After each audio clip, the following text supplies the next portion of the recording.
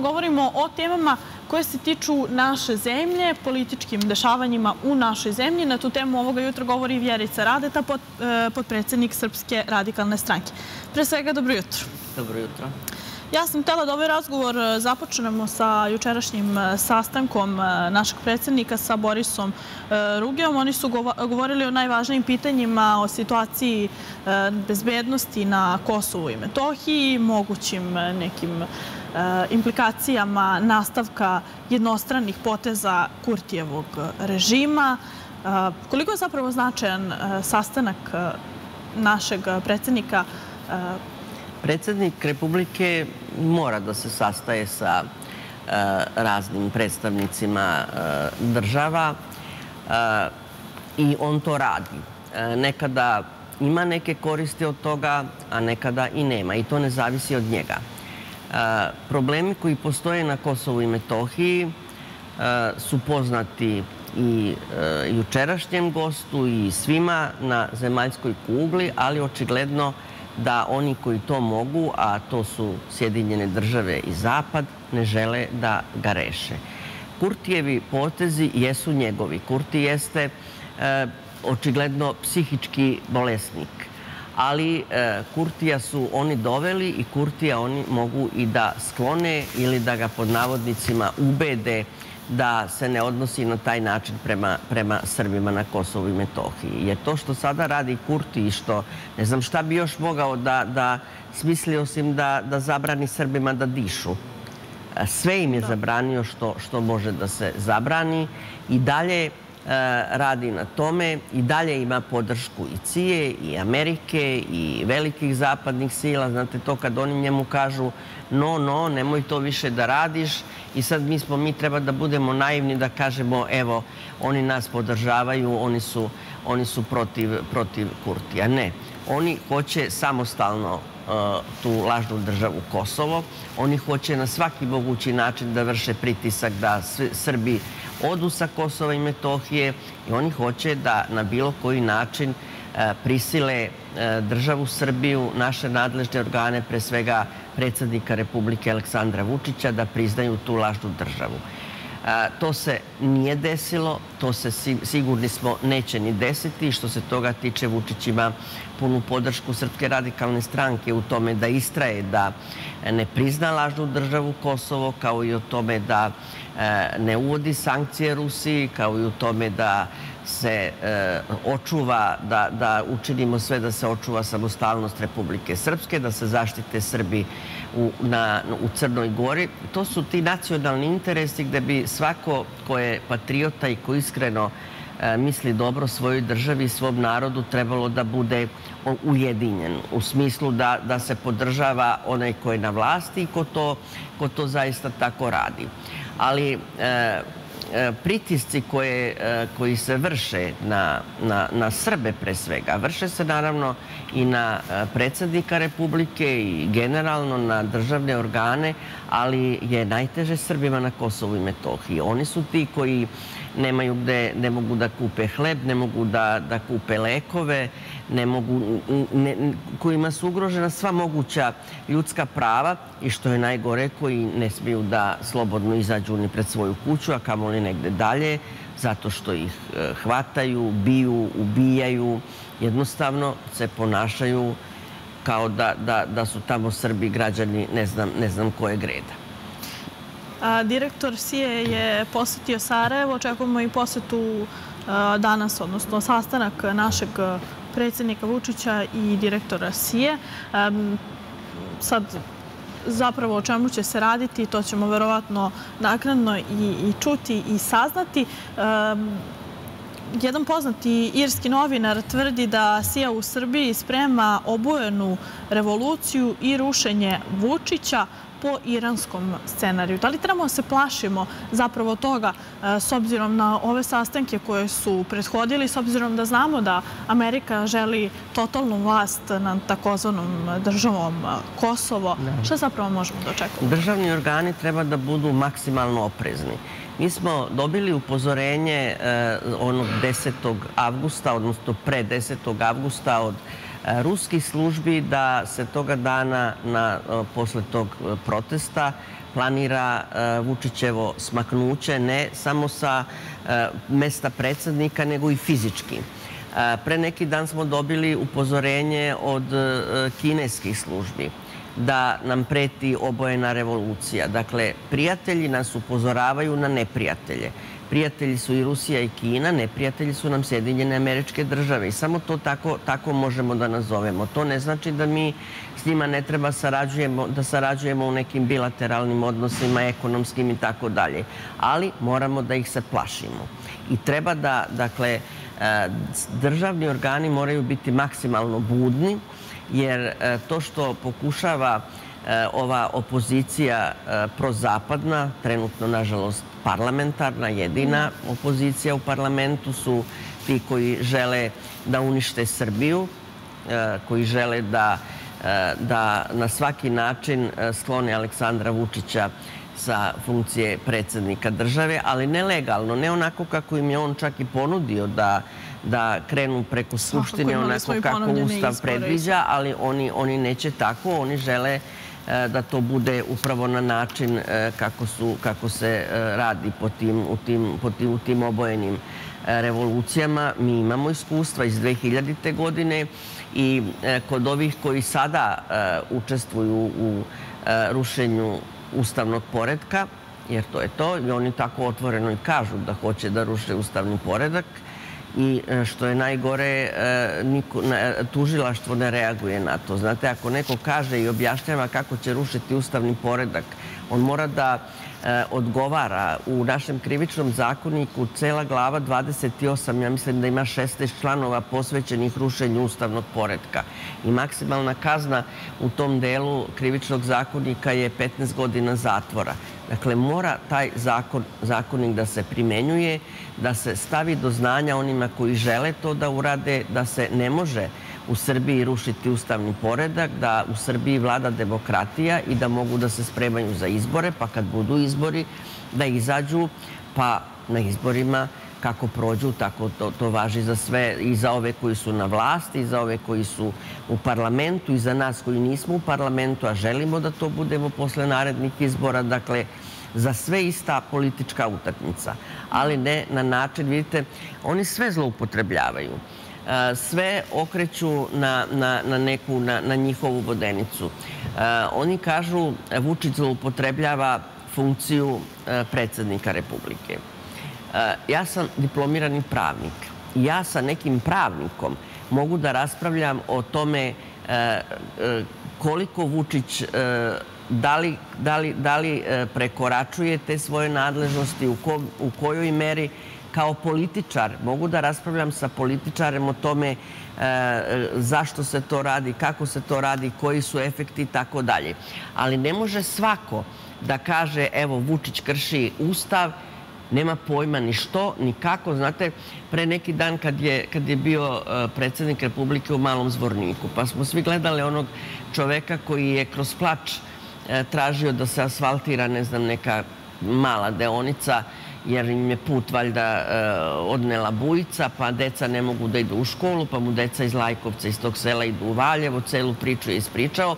Vučić je obećao da će taj put da se izgradi, rekao je počeće, ne znam, u ponedeljak gradnja, gradnja je počela nekoliko dana ranije, u četvrtak ili petak, I e, zašto bi sad taj čovek i ti ljudi iz tog sela imali potrebu da se bave tim da li je to u Vučićevoj nadležnosti ili nije? Jesu li oni tražili taj put? Jesu. Jesu li dobili taj put? Jesu. Šta njih briga čija je to nadležnost. Tako bi trebalo da bude. Ali se čak i to zloupotrebljava. I posle toga, zašto sam ovo pomenula? Zato što sam na N1 televiziji posle toga slušala nekog, evo ime mu sam mu zaboravila, nebitan potpuno, ali piše da je pravnik uh, u potpisu. I on kaže, pravnik kaže, uh, Vučić je na taj način u malom zvorniku prekršio ili ustav, ili zakon, ili jedno i drugo. Znate, to može da kaže neko ko je laik za pravo. Ali pravnik ne sme, pravnik mora da kaže Vučić je prekršio ustav član taj taj, zakon taj taj, e, član e, tog i tog zakona, taj i taj. Ne može da kaže ili jedno ili drugo ili oboje. Mogo je da kaže, ne znam, i pravilnik nekog javnog preduzeća i poslovnik kućnog saveta i povelju Ujedinjenih nacija o ljudskim pravima. Ne može tako neozbiljno, ali znate, kad ljudi slušaju, jedan deo naroda sluša te prozapadne televizije, drugi deo veći, znatno veći sluša ove pro prorežimske, provladine, imamo mi i proameričke, imamo i raznih televizija u, ovoj takozvanoj nedemokratskoj e, Srbiji. I e, kad, znate, ljudi nemaju ni vremena, ni volje, ni snage ni znanja na kraju krajeva, da slušaju e, i ove emisije da. i, i e, vesti, da slušaju na način da razmišljaju, čekaj šta ova kaže, a šta su rekli pre dva dana, a šta kaže ona druga televizija. Ne, ljudi se uhvate za nešto što njima trenutno što je trenutno njihov problem. Ja mislim da se oni ni ne trude da razumeju neke stvari. Pa ne. Da e. oni odmah stavljaju barijeru kada se čuje predsednik Vučić, Da, ali imate onda... Da je odmah to nešto negativno. Ali to je, to je zbog, tog, e, zbog te njihove e, agresivne kampanje, znate, i onda čovjek ima problem, evo sad je vreme upisa, ne znam, i e, dete mu nije očistilo e, godinu na fakultetu i mora da se, da se upiše, da, da, da, da finansira njegovo školovanje. On u tome vidi problem u državi, u Vučiću, ne vidi problem u sebi, u svom detetu, da. u tome kako je on s njim komunicirao, zašto se desilo to da to dete nije bilo svesno da treba da očisti godinu da bi bilo na budžetu i tako dalje. Znači, svoj lični problem, svoju frustraciju, svoj kompleks, sve što, što eh, je normalno da, da eto, neki ljudi imaju, sve to se E, kumulira na ulici. Sve to, e, sve to je lako izvesti na ulicu, posebno će biti lako u septembru. Znate, u septembru počinje školska godina, treba kupiti ranac, treba kupiti knjige sveske, treba kupiti patike, e, treba napraviti neku zimnicu, pravile bi žene ajvar, skupe paprike, treba, treba pripremiti ogrev. Dakle, Septembar je mesec koji, gde će puno ljudi biti nezadovoljno i onda će ovi to da koriste, a oni su lepo bili na godišnjim odmorima, neki su još, oni su obišli svetske destinacije i oni će sad tako odmorni, preplanuli da dođu, da organizuju to, ali se političari još uvek ne pojavljuju u prvim redovima, iako je naravno potpuno jasno da, da oni organizuju sve to. E, otišla sam od cije do ovih, zato što e, zaista jeste, sigurno je tačno da CIA sve to organizuje, da oni dobijaju ogromne pare, ogromne pare se slivaju, znate, mi imamo iskustvo, opet ponavljam, petooktobarske buldože revolucije, kad su bile ogromne pare u pitanju, kad su E, ljudi malte ne mislili da će e, posle e, rušenja Slobodana Miloševića da će ovi, ove dosmanlije ići od vrata do vrata i deliti ljudima pare. To je na taj način bilo, bilo, bilo objašnjavano. E sad je zaista velika ozbiljna obaveza pre svega ljudi koji su iz Srpske napredne stranke i koalicija sa njima, ali i svih nas koji koji učestvujemo u javnom životu, u medijima i tako dalje, da se narodu objašnjava pravo stanje. Da se narodu objašnjava da to što ih zovu da izađu, da se bore e, protiv iskopavanja litijuma, nema nikakve veze sa litijumom, da e, opet na tom... Navodi se da, je, da svakako opozicija stoji iza toga, iako je naravno, navedeno da nije politički protest Naravno, nego kako je nego politički nego Svakako. kako je. I nema veze, znate, e, ta ista opozicija, ta, ta e, zapadna, oni, oni, će, on, oni kad bi došli sutra na vlast, ne daj Bože, oni bi već preko sutra počeli da se bave Rio Tintom i, i, i, i Samo se vraćamo na početak da su oni donali naravno, tu Naravno, naravno, naravno. I oni to, sam opet ponavljam, što to ljudi pažljivo ne slušaju. Ja sam slušala nekog njihovog akademika, mislim akademik naš, Srpske akademije nauka i umetnosti, Slobodan Vukosavić se zove, i on kaže, on ne podnosi Vučića, ne podnosi ovaj režim, ne podno, e, e, teško mu je, teška mu je Vučićeva radikalska prošlost i tako dalje. Dakle, on sve što je patriotsko mrzi, ali kaže, ali ja kao naučnik ne mogu da kažem da litijum ne može da se iskopava, da to bude bezbedno. Može, ali kaže, ja bi predložio nešto što nije baš demokratski, da uvedemo moratorijum, da se litijum ne eksploatiše dok ovi ne odu sa vlasti. Znači, kad oni odu, mi ćemo to da radimo, a izvode ljude koji kažu ne damo jadar, niti znaju što ga ne daju, nikome ga ne daju. To je dakle, zapravo najveći problem. Ljudi nisu upoznati sa tim. E, zato, zato ja kažem da je uloga medija, uloga pre svega Narodne skupštine koja mora konačno da počne da, da radi, da se bavi i donošenjem zakona e, koji će regulisati taj deo.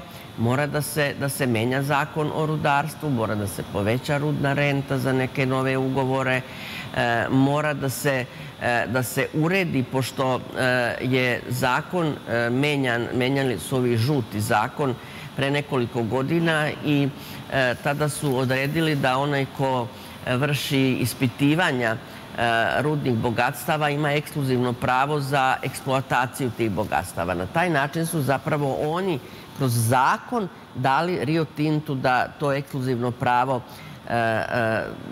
iskopavanja litijuma. E, mi moramo zakonom, država, Narodna skupština, vlada, moraju zakonom da urede e, na koji način, po kojim standardima da se u zakon ugrade, recimo, nemački standardi koji su najviši i naj, najbolji na evropskom nivou i da taj Rio Tinto, ako bude on to radio, da se on ili bilo ko drugi, da bude ograničen našim zakonom, da se naši zakoni bave našom državom, našom zemljom, našim rudnicima i tako dalje. To je, e, to je posao koji mora filigranski da se radi, jer kad krene e, to u Narodnoj skupštini, onda će ovi da napadaju iz svih sredstava sa njihovim e, ko je lopov, ko je ukrao, čiji brat, čija... To je jedini argument, je li tako? Da, ali ovi sa druge strane koji su vlast ne smiju da nasedaju na te argumente nego oni moraju da pričaju ono što treba narod da čuje. A dobro, i ovo vezano za samo iskupavanje litijuma je potkrepljeno činjenicama. E, svako ko je deo vlasti je naveo da će biti istraživanje koje će trajati skoro dve godine, sada već malo manje, e, da će tu biti stručni tim koji će voditi računa e, o zdravlju, nije niko nekao da ćemo naprasno krenuti da kopamo litijum. Normalno, ali kad je pre dve godine krenula ta e, tema litijuma, tada je vlast e, pokazala snishodljivost i nije trebalo to da se uradi i tada su tada, tada je vlada povukla svoju uredbu koja je sad ponovo vraćena na Ustavnom sudu. E, već tada je trebalo početi krenuti u tu ozbiljnu borbu pod navodnicima objašnjavanja. Jedino je Srpska radikalna stranka jedina i tada bila, rizikovali smo i manji broj glasova i verovatno i to uticalo na, na ovim poslednjim izborima, ali smo mi jedini bili koji smo rekli da litijum i sve, sve rude i minerale, sva naša bogatstva treba da koristimo i da eksploatišemo, ali smo i tada rekli po najvišim evropskim standardima uz punu zaštitu životne sredine.